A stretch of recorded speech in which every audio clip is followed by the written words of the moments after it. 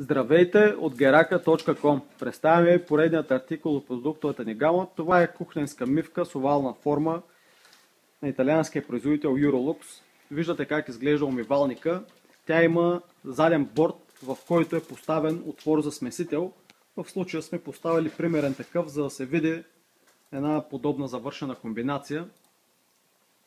Мивката е доста интересна, тъй като взема малко място на кухненския плод – а същевременно е доста функционална.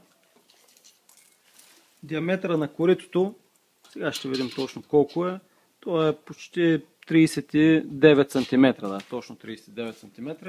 Сифонът е от големите на FI90, има хубав дебет, освен това мивката може да се комбинира с кухненска мелачка, тъй като сифонът го позволява.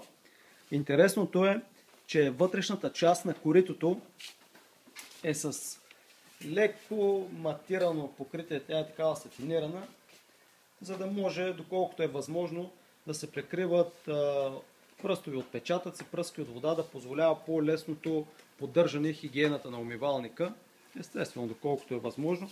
Мивката е комбинирана и в цената и са включени сифона с горната и долната част, вълвидата към преливника, ето го отвора за преливника в задния край, щипките и оплътнението момента ви показваме пълната комплектация, като не се налага да се закупува нищо допълнително за монтажа или експлоатацията й.